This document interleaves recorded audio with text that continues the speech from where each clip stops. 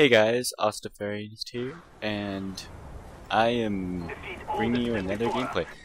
This is, I'm not really sure, I don't have a plan for what I'm going to talk about this commentary, mainly the fact that I'm going to start posting more videos more often, because you know, if you want to get more known, then you should post more content, and make sure that the content has quality. So I try to put up quality in all of my content type stuff that I make, like the Let's Plays of Fear 2. I've been trying to make a lot of those lately. It's just like one play at night gets me like four, three, three to four episodes. So trying to make lots of those, and then at the same time I'm trying to make all of the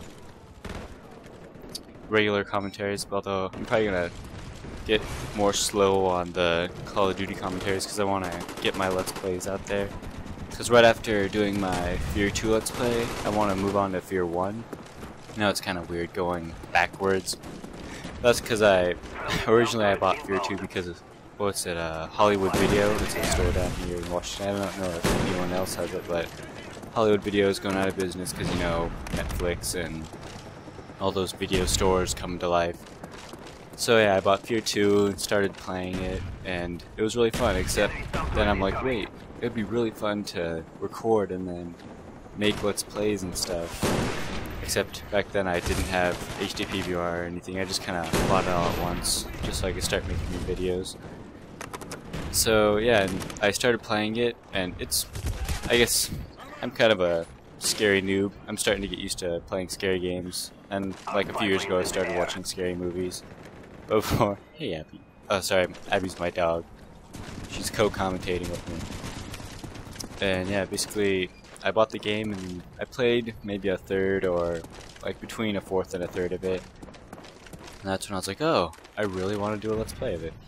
So then I started and then I was, wait, this is Fear 2, there's still Fear 1 and Fear 3 is also coming out. So after I finish Fear 2, which I'm going to try to pump out as many episodes as I can so that I can quickly get into Fear 1, and then I also want to buy, if I can get enough money, buy Fear 3, and start a Let's Play on that, because, you know, all the Fear games, they're fairly fun, although Fear 3 doesn't look as scary, it looks more, because you have a partner, I guess, and, I don't know, but it just seems different. And then uh, also, I was thinking of doing a Let's Play of Bioshock, because I started playing the game, I borrowed it from a friend, but probably not, because I probably won't do a Let's Play of that, because I've already gone through a lot of it. I'm sure many people already know what Bioshock is. Great game, pretty graphics. And so this game mostly I'm trying to, I'm getting used to kind of quick scoping slash just sniping in general with the PSG. So I'm kind of, I haven't sniped since I tried to make that montage with Windows Live Movie Maker, which I thought it turned out pretty well. You know, if editing, so I'm trying to practice with the PSG just because it's different, you know? Gotta mix things up so that the game stays fresh. So yeah, I, I missed quite a few shots because the PSG just seems way different from all the other snipers. So yeah, I missed a few and it seems, I guess, maybe it's just my mind, but I think that it gets more hit markers than the L96, but what do I know? Anyway, just keeping it fresh, using new things.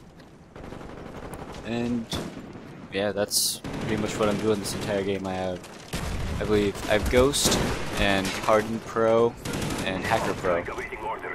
Pretty much nowadays I always run Hacker Pro because I didn't know that that hid you from motion sensors. I thought that was Ninja, kind of like for Modern Warfare 2 with the heartbeat sensor. And I have Hardened Pro mainly because a friend, his name's the Nubby Panda, but he told me that if I'm sniping then it's good to use Hardened Pro because you can wallbang people, and if you get shot, your gun's not going to fly 50 feet in the air and you're not going to miss as well. Although, also I heard that steady aim is good to use when quickscoping and stuff, because when you sprint and stop, you scope in much faster. Any sniper watching this, you can leave a comment to help me. Too lazy to look up a video on it or any research. And yeah, basically just sniping, and I don't normally run Ghost. I normally run Flak Jacket just because we're, I'm playing Ground War. I play Ground War a lot. That, either that or Search with friends. But with Ground War, I usually run Flak Jacket just so I can uh, capture flags more easily. But this one I decided to do Ghost because I was sniping, needing to get the jump on people. And I wasn't camping, so I wasn't be of, being one of those camping noobs that just sits around. I was running around just trying to snipe with the PSG. Because normally I hate it when other people use Ghost because you have no idea where they come from. And most of the time they're sitting in a corner with their Galil suppressed, just waiting for you to walk by. Also, I've been experimenting with lots of other guns besides the, um, besides the FAMAS. Because everyone says that's overpowered, which I'm not gonna lie, it's pretty ridiculous, but I try to mix it up. And here I try to, I thought there was a guy up there, so I tried to use my hardened pro powers to get him through. Looks like this gameplay is getting pretty close to wrapping up. I'm pretty sure, yeah, 918 and, I mean, 9800 and I get the final kill with the PSG headshot. So I'm going on vacation pretty soon, so like for a few days, and then next week I'm going again. I'll try to get as many Let's Plays and all that stuff out, maybe a few more Black Ops commentaries. Until then, love all you, and subscribe if you like, and like if you like, and favorite if it's your favorite. Anyway, bye bye.